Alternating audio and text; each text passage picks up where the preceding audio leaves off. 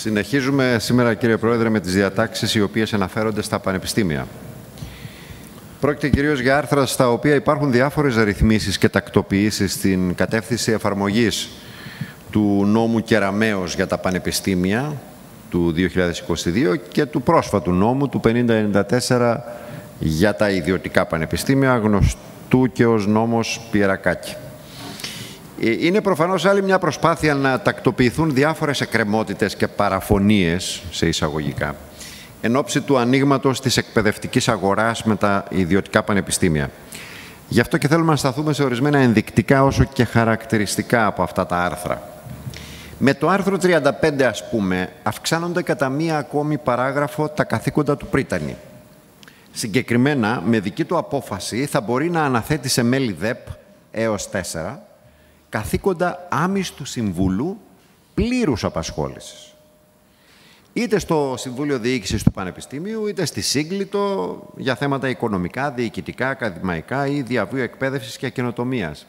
Δηλαδή, κανείς δεν χάνεται, κύριε Πρόεδρε. Αφού όποιος από την ομάδα του Πρίτανη δεν καταφέρνει να εκλέγεται, θα μπορεί να αναλαμβάνει έναν συμβουλευτικό ρόλο επιχειρηματικό ρόλο επί της ουσίας στη διοίκηση του Πανεπιστημίου.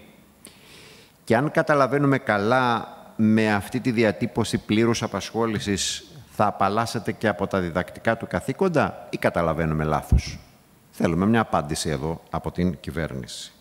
Με το άρθρο 36 προβλέπεται κυρίως τα κέντρα ψυχολογικής και συμβουλευτικής υποστήριξης των πανεπιστημίων. Θετικά είναι αυτά, δεν έχουμε αντίρρηση να μπορούν εκτός από τους ίδιους πόρους των πανεπιστημίων να χρηματοδοτούνται και από συγχρηματοδοτούμενα προγράμματα ή ΕΣΠΑ. Ποια οφείλει να είναι εδώ η ορθή πρακτική; Μα φυσικά το ότι η στελέχωση και η χρηματοδότηση αυτών των αναγκαίων, όπως είπαμε, κέντρων, να αποτελεί απόλυτη ευθύνη του ίδιου του κράτους. Και όχι αυτή η ευθύνη να μετακυλίεται, σύμφωνα με το άρθρο, στα ίδια τα ιδρύματα και στο αν και πότε μπορεί να τρέξει και κάποιο πρόγραμμα ΕΣΠΑ ή κάποιο άλλο πρόγραμμα. Με το άρθρο 44 επέρχεται μία τροποποίηση του νόμου Κεραμέως του 4957, αλλά προς το πολύ πολύ χειρότερο. Καθώς τους εργοδότες της πρακτικής άσκησης των φοιτητών, κοντά στα τόσα και τόσα ωφέλη τους από αυτήν, τους απαλλάσσεται ακόμα και από την υποχρέωση της ασφάλισης έναντι ατυχήματος η ασφάλεια ατυχήματος παραμένει μεν υποχρεωτική, αλλά προσέξτε, δεν καλύπτεται υποχρεωτικά από το φορέα υποδοχής, όπως προβλεπόταν στον αρχικό νόμο. Πρόκειται για μια διάταξη απαράδεκτη και επικίνδυνη. Το άρθρο 44 όμως έχει κι άλλα κακά μαντάτα για τους ασκούμενους φοιτητές. Καθώς λέτε ότι οι εργοδότες ότι δεν είναι υποχρεωμένοι να αμείβουν αυτούς τους φοιτητές. Η πρακτική δεν το λέω εγώ, το λέει η παράγραφος 7 του αυτού του άρθρου που λέει ότι η πρακτική άσκηση μπορεί να είναι αμοιβόμενη, μπορεί όμως και όχι. Και όταν είναι αμοιβόμενη θα χρηματοδοτείται από εθνικά προγράμματα συγχρηματοδοτούμενα, ΕΛΚΕ κτλ. Εντάξει, ίσως και από τον εργοδότη βάζετε και αυτόν. Εδώ δηλαδή μιλάμε τώρα το απογειώνεται τελείως προσφέρεται στους επιχειρηματίες δωρεάν στο πιάτο που λέμε τζάμπα εργασία, τζάμπα εργατικό δυναμικό και τι δυναμικό μάλιστα, νεανικό, φρέσκο και επιπλέον επιστημονικό. Και κάπως έτσι πάτε να λύσετε και εκείνο το πρόβλημα της εφαρμογής της πρακτικής άσκησης που είχε κολλήσει με τον νόμο 4957. Το πράγμα όμως της πρακτικής άσκησης έχει και συνέχεια στο ίδιο άρθρο, το 44 αφού προβλέπετε ότι η πρακτική άσκηση μπορεί να είναι υποχρεωτική, μπορεί όμως και να μην είναι.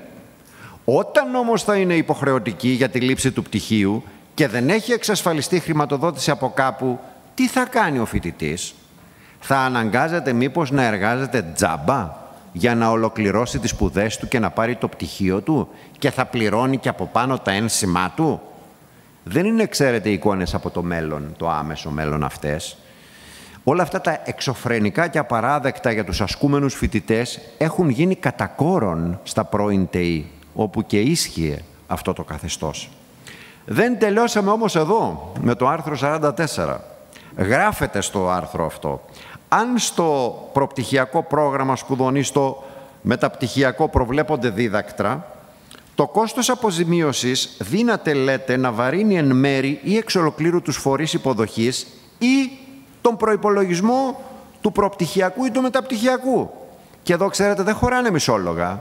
Οφείλετε να διευκρινίσετε ρητά και γραπτά και κατηγορηματικά φυσικά ότι αναφέρεστε μόνο στα ξενόγλωσσα ε, προπτυχιακά προγράμματα γιατί αν δεν το κάνετε τότε ανοίγετε κανονικά, κανονικότατα την πόρτα για να γενικευτούν τα δίδακτρα σε όλα τα προπτυχιακά προγράμματα σπουδών. Εν τω μεταξύ, στα προγράμματα σπουδών που επιβάλλουν δίδακτρα, πρέπει να το πούμε και αυτό, η πρακτική άσκηση των φοιτητών θα πληρώνεται από τον προϋπολογισμό των τμήματων, δηλαδή από τα έσοδά τους, δηλαδή από τα δίδακτρα των φοιτητών τους. Τέτοια κοροϊδία. Ο εργοδότης εκμεταλλεύεται τζάμπα εργασία, ενώ ο φοιτητής που πληρώνει 10 στο πανεπιστήμιο ως δίδακτρα, αν κάνει πρακτική θα παίρνει πίσω το ένα, πιο ένα δηλαδή, ούτε το μισό, από τα 10 που έδωσε. Η ιδέα αμοιβή θα ορίζεται και με υπουργική παρακαλώ απόφαση. Και κάτι τελευταίο σχετικά με αυτό το άρθρο δηλητήριο, όπως, το, όπως φαίνεται, για τους ασκούμενους φοιτητές. Αυτό το άρθρο, κύριε Πρόεδρε, δεν υπήρχε στη διαβούλευση και μπήκε στα μουλοχτά. Φαίνεται ότι αυτές οι δουλειές χρειάζονται πάντα το σκοτάδι. Πάμε τώρα στα συμπληρωματικά μεταξύ τους άρθρα 38 και 76 του νομοσχεδίου. Με το 38 παρέχεται η δυνατότητα στο Συμβούλιο Διοίκησης ενός Πανεπιστημίου και με σύμφωνη γνώμη της ΕΘΑΕ και απλή γνώμη της συγκλήτου να καταργήσει τμήματα. Για την ίδρυση τμήματων απαιτείται βέβαια απόφαση του Υπουργείου. Στο άρθρο αυτό προστίθεται η παράγραφος αυτό, 7 ε, συγγνώμη, η οποία αναφέρεται στη δυνατότητα ερώτησης του Υπουργείου στην ΕΘΑΕ για την αναδιάρθρωση του ακαδημαϊκού χάρτη με την απάντηση της ΕΘΑΕ να επέχει θέση σύμφωνης γνώμης.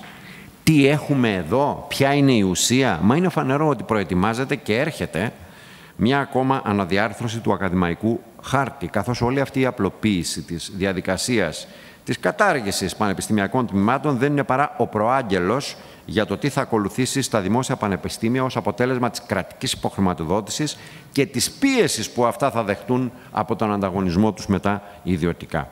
Να γιατί με το άρθρο 76 προστίθενται στις αρμοδιότητες της ΕΘΑΕ ότι αυτή αποκτά σημαντικό ρόλο στη διαμόρφωση και τη συγκρότηση του ακαδημαϊκού χάρτη της χώρας, πάντα φυσικά με εκείνα τα κριτήρια αποκλειστικά στη λογική του κόστους-οφέλους και σε μια τριτοβάθμια πλήρως εμπορευματοποιημένη και μετά πανεπιστήμια να λειτουργούν πάντα ανταγωνιστικά στη λογική της αυτονομίας. Προϊονίζεται λοιπόν νέα μεγάλη αναμόρφωση του ακαδημαϊκού χάρτη και τι λέει η πείρα όλων αυτών των χρόνων κύριε Πρόεδρε; Λέει ότι τα πράγματα κάθε φορά μετά από τέτοιες αναδιαρθρώσεις χειροτερεύουν, ότι οι φοιτητές γίνονται πειραματόζωα και πολλοί μένουν ξεκρέμαστοι, όσο για την απορρόφηση των φοιτητών, γιατί αυτό είναι το αγαπημένο επιχείρημα των αναδιαρθρώσεων, η απορρόφηση των αποφέτων, αποφύτων αφήστε καλύτερα. Αυτή δεν βελτιώνεται ούτε στο ελάχιστο. Τέλος, με το άρθρο 78 ενισχύεται περαιτέρω ο ρόλος της ΕΘΑΕ ως κομβικού μηχανισμού ανασυγκρότησης του ακαδημαϊκού χάρτη με την πρόσθεση σε αυτήν των αξιολογήσεων και των ιδιωτικών πανεπιστημιακών τμήματων. Βάζετε μάλιστα και τα επιμελητήρια στο παιχνίδι τοποθετείται στην Επιτροπή Αξιολόγησης υποχρεωτικά ένα μέλος από το επιμελητήριο ή επαγγελματική ένωση, αν είναι ρυθμιζόμενο το επάγγελμα. Και όλες αυτές οι νέες αρμοδιότητες βέβαια της ΕΘΑΕ δίνουν πολύ ξεκάθαρα το στίγμα της πολιτικής και των προτεραιοτήτων σας. Τα νομικά πρόσωπα πανεπιστημιακής εκπαίδευσης, έτσι λέτε τα ιδιωτικά, να ανοίγουν και τα τμήματα των δημόσιων πανεπιστημίων να κλείνουν. Υπάρχουν στο νομοσχέδιο ε, και ορισμένες διατάξεις για τον αθλητισμό. Θα ξεκινήσουμε με το άρθρο 93, σχετικά με τη διετή παράταση της προθεσμίας απασχόλησης των προπονητών. Με μια προσθήκη στο άρθρο αυτό, την οποία μεταφέρουμε εδώ στη Βουλή, επειδή τη ζητούν οι ίδιοι οι προπονητές. Αναφέρεται στην τροποποίηση της δεύτερης παραγράφου του άρθρου 71 του νόμου 4908 του 22 περί ημερομηνίας λήξης της επικαιροποίησης των δικαιολογητικών των δικαιωμάτων των προπονητών και ζητούν οι άνθρωποι αυτοί τη ημερομηνία 31 Δεκάτου του 23 να αντικατασταθεί από την ημερομηνία 31 Δεκάτου του 2024. Νομίζω ότι είναι μια ε, πρόταση την οποία ε, μπορεί ε, πολύ εύκολα να δεχτεί η κυβέρνηση.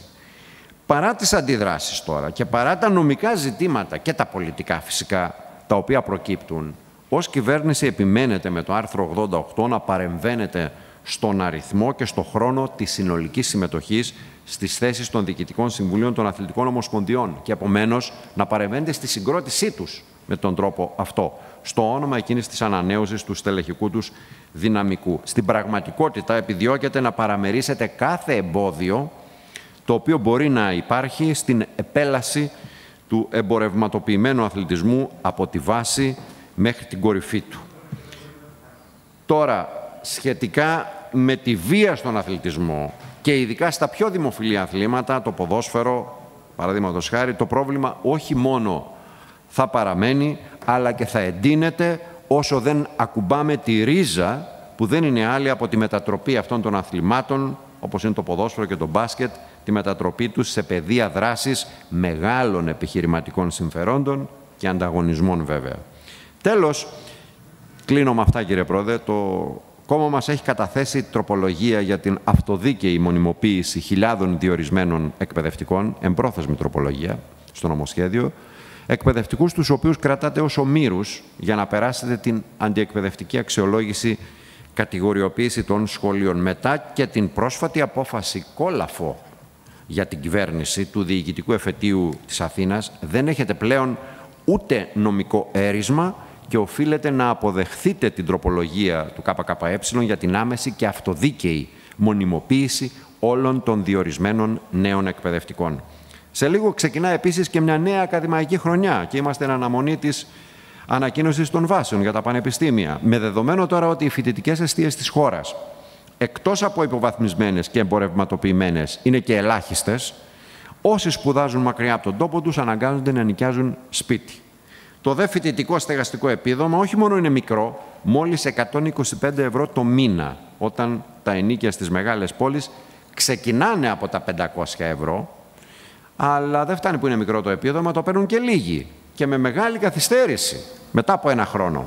Με την τροπολογία λοιπόν του ΚΚΕ αυξάνεται το επίδομα στέγασης μέχρι του ποσού των 500 ευρώ το μήνα, αυξάνεται το όριο του οικογενειακού εισοδήματος στις 40.000 ευρώ το χρόνο με προσάυξηση 5.000 για κάθε παιδί, προκειμένου να διευρυθεί η κατηγορία των δικαιούχων και βεβαίως προστίθενται στους δικαιούχους και, ε, ε, και, και κάποιοι οι οποίοι αποκλείονται και δεν είναι άλλοι αυτοί από τους σπουδαστές των ε, ΣΑΕΚ, των σχολών που αντικατέστησαν τα δημόσια ΙΕΚ. Σας ευχαριστώ.